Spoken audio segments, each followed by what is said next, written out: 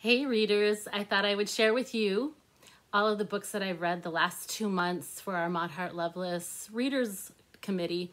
We're um, reading books to nominate for the next school year, not this school year coming up, but the next school year's um, Maud Hart Lovelace books for um, the Minnesota Book Award. So I have a whole pile of books and I thought I'd just quickly tell you about the ones that I've read and what I scored them. So we'll start with um, just my favorite one of all.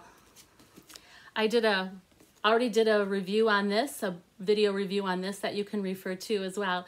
It's called The Miscalculations of Lightning Girl by Stacy McAnulty. I'm not exactly sure how to say her name. I think in the video before I called her McNulty, but um, this is just a fun, funny read, but it's also um, inspiring and a little quirky, and I just really liked it. It's about a girl who um, gets um, electrocuted really on a playground during a, a storm and um, her brain um, compensates for the loss of um, brain cells because she was out for about five minutes by giving her more um, math ability and she's basically just a genius in that area. Um, so that's what the story is about. And she's having, she's been in homeschool for most of her elementary years, but her grandmother who takes care of her and is her um, guardian says you need to go to middle school. And of course, middle school stories are always really interesting. Um, just a fun read and an inspiring read and a friendship book. So I highly recommend this one, The Miscalculations of Lightning Girl. Out of Left Field by Ellen Klages. I have read her first book. It's, it's kind of like a trilogy, but you do not have to read the other two books. In fact, I was reading this, I was like, these characters sound very familiar, and I had to think back to the very first book I read years ago.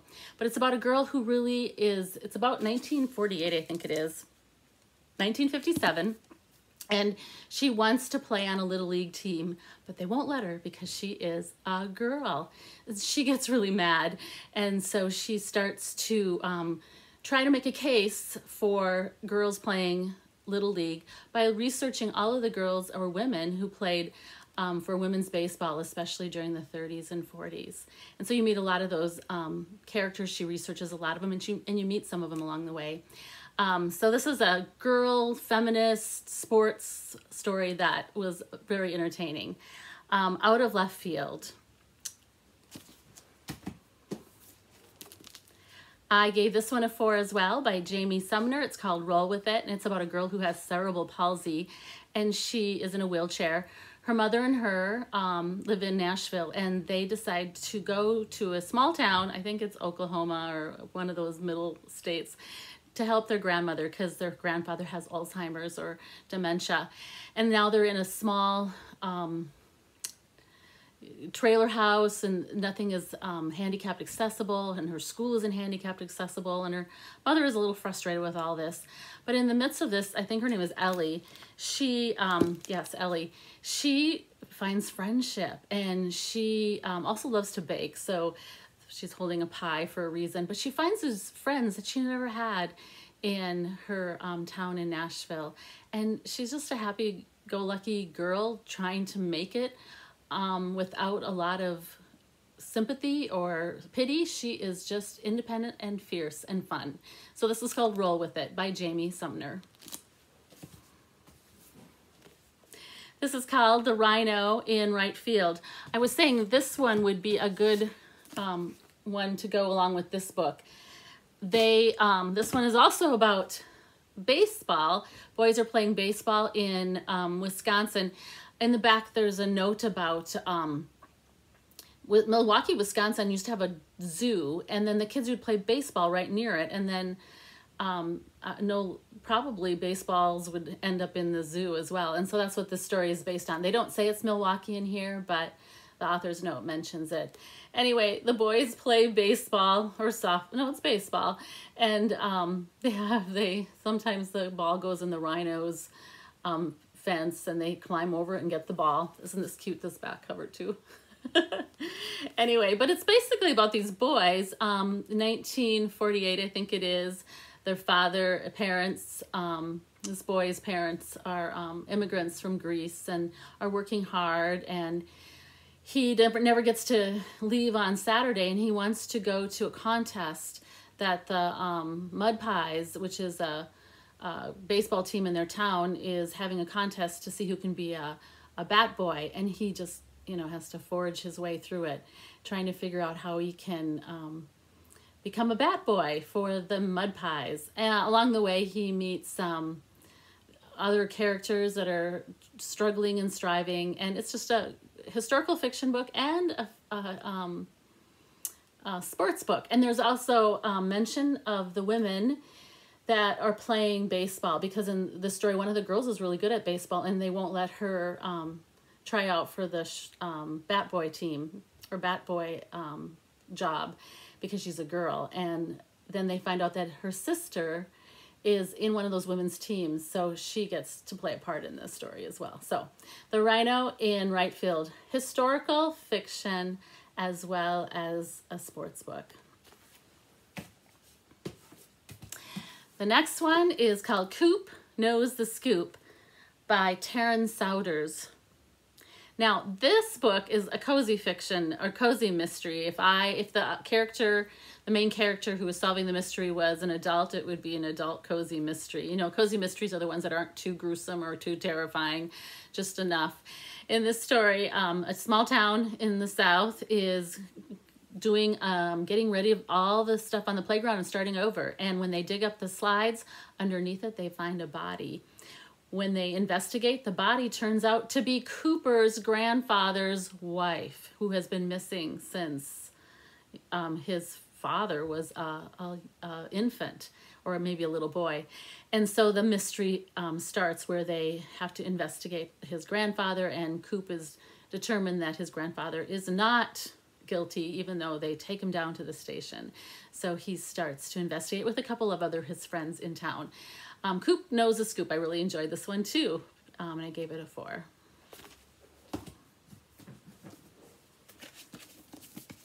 The next book is called A Place to Belong by Cynthia Kadohata. And this is a really smart book about a time period that we don't really have a lot of books about, and it's just good to know. This is about a girl named Hannah and her family who are Japanese American, and they've been sent to internment camp in the United States, and they have just not been treated very well at all. So they decide to go back to Japan, and when they do, the ship um, trip for just to go across the seas is just a terrible trip. And then when they get there, they see what Hiroshima has happened to it with the bombing, and they get to their grandparents' home, and they are so poor. Despite that, their grandparents are a delight and very charming, um, but they just really struggle. Now, it's a kind of a quiet book, and it reads a little like a, uh, it's a little, it doesn't always explain everything. So I think um, this would be a great story for a teacher or a parent to read with a child. I don't know if they would catch on to all of the things that it was trying to say, or even um, not knowing a lot about World War II or Japanese internment camps. You might need a little bit more background for it, but I just found it delightful. It read very childlike, though. It doesn't read um, like a really sophisticated young adult book at all. It is um, her through eyes, her eyes. It's very childlike. So a Place to Belong by Cynthia Kadohata. I just recommend this highly for everybody. The only reason I give it four stars instead of five is just because I um, felt like there was a few things missing that I felt like kids would need some support with. Next, I have some three-star books. This one's called The Not So Boring Letters of Private Nobody by Matthew Landis. And this is a story about a boy who's just obsessed with the Civil War and his teacher gives him a, a assignment to work with another girl in his classroom on a Civil War assignment. And he's really devastated because he's an expert at it and he doesn't need anybody to be his partner, but he does it for a reason. And um, he gives them the name of this private that they need to investigate. And they discover a lot of different or new things that he had never known before about um, World War II, World or Civil War, excuse me. So I give this a three just because I was a little bored. Um, I felt like there wasn't enough action for me. Um, it was a fine story, and I just felt like it was a little more of a slog for me than um, I would have liked, but um, a good story. The next one is The Science of Breakable Things. And this is a story about a girl who joins up with two other kids in their classroom to do an egg drop competition. And they get together and try to figure out how they are going to drop an egg and win the contest. And um, this girl, in the main character in this story, is dealing with, um, I think her name is Twig. She is dealing with uh, a mom who has gone is in depression. I mean, she's just not getting out of bed. She it's just changed their family dynamics considerably. And so she's hoping that the money that if they could win from this contest would be helpful to do something for her mother to snap her out of it. Her father, of course, is helping her with therapy and other things just to help her understand what um, this kind of um, mental illness is doing with her family and how it affects her. Um, again, this is a good book, a fine book. I just felt like it was a little slow for me. Um, so I give it a three. It wasn't as, um, didn't move as fast as I would have thought. And I kind of picked it up sometimes thinking, okay, when's this going to be over? When are we going to get to it?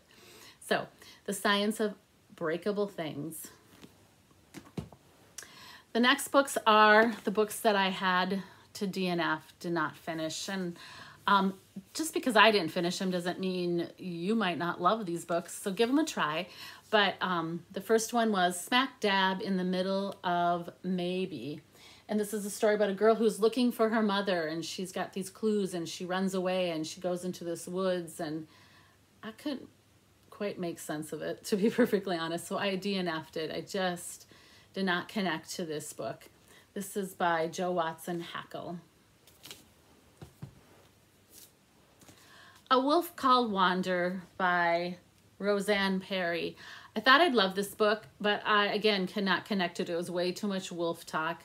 And um, for some reason, I just was like, I can't pick this up anymore. Now I know a lot of people have enjoyed it, so give it a try. It's very much from the perspective of a wolf and his life in the wilderness. And so A Wolf Called Wander could be a, a right book for you, but it wasn't for me. Next is Oddity by Sarah Cannon. I thought this would be a really fun read. And let me try moving it over here. There you go. Have better light. Anyway, um, oh, it's an odd world. Very odd world. I couldn't connect. I ended up DNFing it. Um, Ada Roundtree is no stranger to dodging carnivorous dumpsters, distracting zombie rabbits and marshmallows, and instigating games of alien punk ball. Pretty weird. So give it a try if that's your kind of book, but I ended up DNFing this one too. I wanted to love this book, Rooting for Rafael Rosales. Um, is by um, Kurtis Scaletta, and I know he's good at writing baseball books, and he's from Minnesota. Um, it is about a boy who's from the Dominican Republic, and in the back, I was really impressed by Kurtis's author's note where he says, "You know, this is not my voice. I'm I'm not Dominican Republic, and who am I to write this story? But I did because I wanted to tell it." And it has a connection with um, Minnesota Twins and baseball. Um, I think I DNF'd it because, well, first of all, sports books are tough for me because I obviously don't always have that connection. I'm not a sports fan. Um, and so it's got to be a good sports book to connect me or catch me. But I um I found that a lot of the Spanish words he didn't really explain what they were and I couldn't get them in the context and I just got a little lost and and fatigued by it. So I ended up DNFing this book. I do know some people really enjoyed this one. So give this a whirl and see what you think.